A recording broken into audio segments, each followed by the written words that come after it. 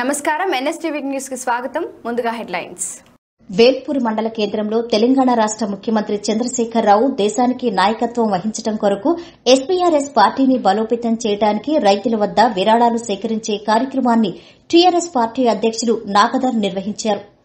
ఈ సందర్భంగా నాగధర్ మాట్లాడుతూ దేశంలో ప్రస్తుత తరుణంలో బీజేపీ నాయకత్వానికి చర్మగీతం పాడుతూ కొత్త నాయకత్వానికి కేసీఆర్కు భారతదేశ ప్రజలు రైతులు అన్ని వర్గాల వారు ఎదురు చూస్తున్నారన్నారు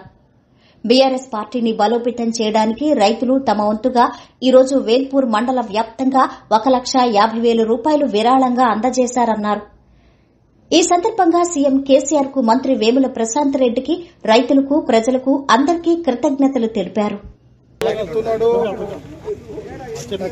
ఇరవై నాలుగు గంటల కరెంట్ రైతులకు ఇస్తున్నాడు రైతు బీమా ఇస్తున్నాడు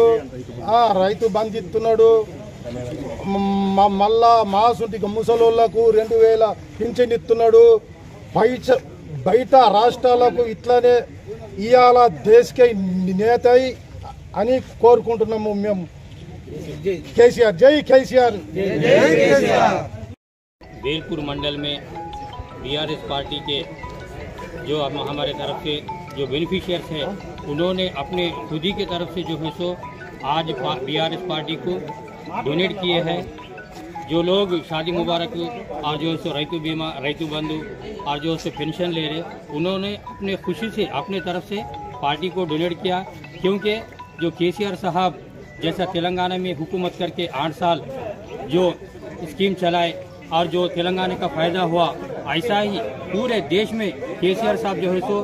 अपने बीआरएस पार्टी से हुकूमत बना के पूरे देश के अंदर पूरे आवाम को जो है सो इसी तरह के फ़ायदा होना, जैसा पेंशन आ रहा, जैसा कल्याण लक्ष्मी, शादी मुबारक आ रहे, जैसा रैतु बीमा, रैतु बंधु आ रहा, उसी तरह जो माइनॉरिटी बच्चों के लिए जो कॉलेज बनाए गए, जो स्कूल बनाए लिए, ये जो है सो पूरे देश में ये फ़ायदा होना, इसीलिए केसीआर साहब जैसा तेलंगाना के लड़ाई में जो